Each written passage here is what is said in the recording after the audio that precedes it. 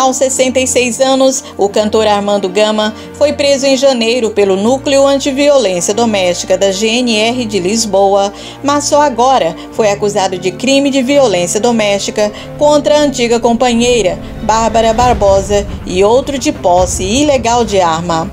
A moldura prevê cúmulo jurídico de 10 anos de prisão, mas o Ministério Público de Sintra, responsável pela acusação, entende que o arguído não deve ser punido com mais de cinco anos por não ter antecedentes.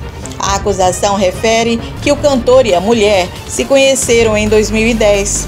O filho, Antônio, tem sete anos. És um imbecil e pareces um macaco são dois dos exemplos da acusação de como Armando Gama trataria alegadamente o filho de 7 anos. Desde cedo, em datas não apuradas pela investigação, que o menino terá sido maltratado pelo pai. O Ministério Público acusa-o também de chamar a criança animal, quando ela se portava mal.